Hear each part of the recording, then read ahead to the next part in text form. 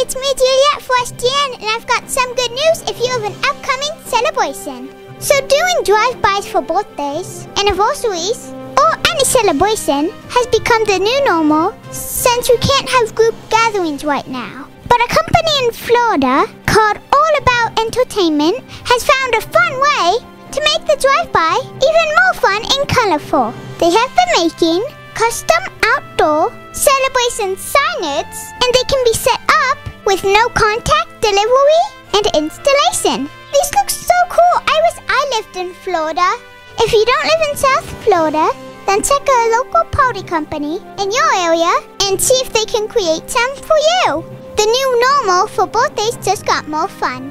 And that sounds like some good news to me. For SGN, I'm Juliet. Back to you in the studio, John. This has been an SGN Special Report.